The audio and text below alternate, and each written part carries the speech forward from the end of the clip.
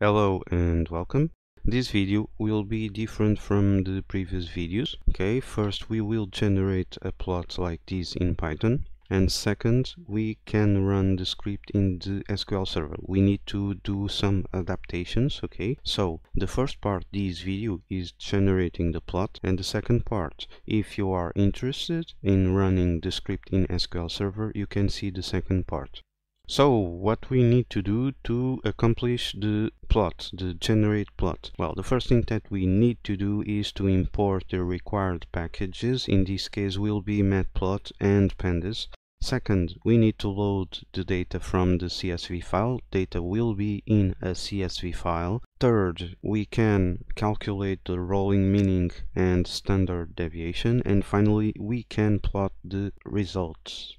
In the code part, I will use Visual Studio Code. Okay, you can use any editor that you want, even Notepad, the code will be the same thing. Okay, so the first thing that we need, we need to import pandas because we will read a CSV file and also we will do the statistics. Import pandas as PD. Next, we will do a plot. So import matplotlib.pyplot as plt. So let's do the load data from CSV file. And I have here a file to load the data. Sales by day.csv it has a day it has a sales and the day is a date. The sales is the number of sales on that date okay? So if we go here we need to declare the path of this file. And we go here to the file right click copy path we paste here as a string to this path variable and after this we can declare a data that is equals to pandas dot read underscore csv and then we provide the path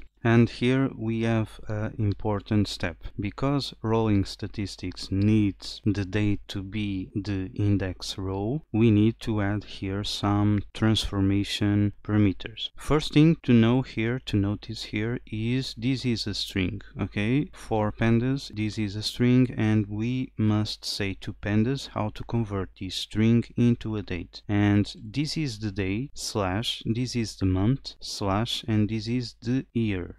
so we go here and we declare a function to convert the string into a date. So date parse is equals to lambda x and we say pd dot date time dot string p time. We provide the x and we provide the format of the string. So the format of the string is we have a day, we have a slash, we have a month, we have another slash and we have a year uppercase y. Okay. Now we can continue and we go here to read underscore CSV and we will add three parameters okay three more parameters so the first parameter will answer one question what column to be parsed to date parse underscore dates is equals to the column mm. day next question what column to use as a row index and we go here index col is equals to the column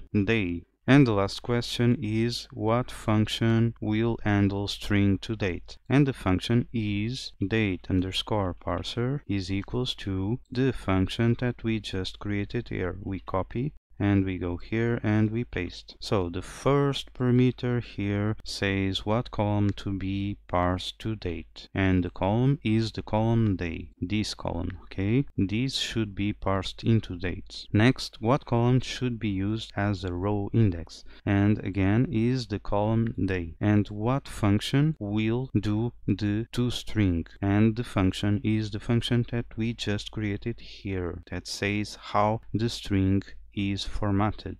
Now we are ready to do the calculations since we have the data here. So we go here to the step number three and we just need to declare um, rolling mean. That is equals to data dot rolling uh, for 90 days for example dot mean. And uh, rolling standard is equals to data dot rolling 90 days again. And we say std okay? I think these in older versions of pandas should be something like pd dot rolling mean and we provide the data first and second we provide the number of iterations the days. So this is for older pandas. Let's do the last step doing the plot. We need first to plot the original data then we need to plot the r mean and we need to plot the r standard plt.plot provide the data, the original data, we provide the color for the line, it will be blue, and we provide the label, it will be original. We can copy these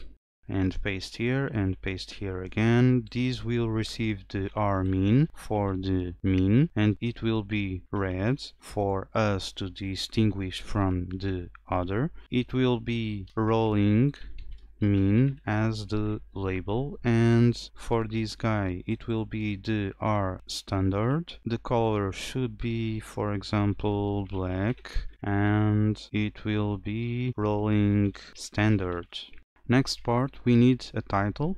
So plt dot title. And we provide the title for example rolling mean and standard deviation. Something like this okay? Next and final step is showing these or saving these. To show these we just need plt.show okay? To save these we should say plt dot save fig and we need a path for this guy. So we go here we copy the path we go here again we paste here the path and we give a backslash and we give a name. So we will call it my plot.png for now let me comment these and let's run this open the terminal and we call pi rolling mean Charam, and this opens and we have this plot okay? This guy is just saying that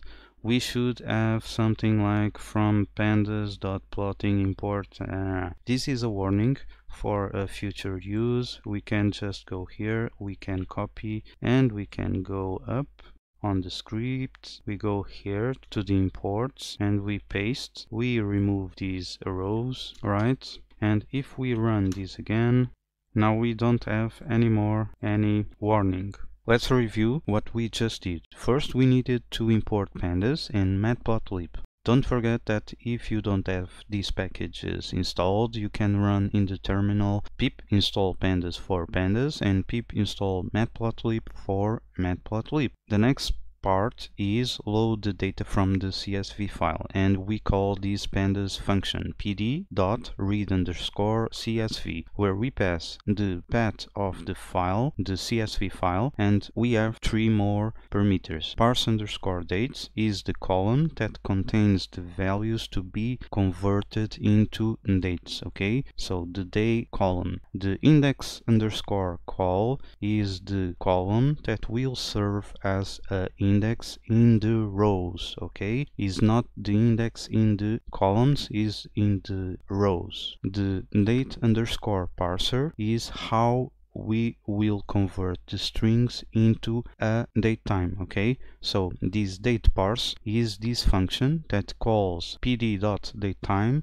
dot string p time okay? And we pass this format day slash month slash year. And the next step is calculating the rolling statistics. For the mean, we say data.rolling 90.min. For the standard, data.rolling 90.standard. Um, this 90 is the number of iterations, which means that in our CSV we have for each row one day, so it will mean 90 days. If we add months, it would be 90 months and so forth okay? The next part and the last one is plotting the data. Is just this plt.plot we pass the data and we say that we want the line to be blue. We want a label for that that is called original is the text that will appear and this is for the mean. We pass the mean data. The line for the mean is red and the label rolling mean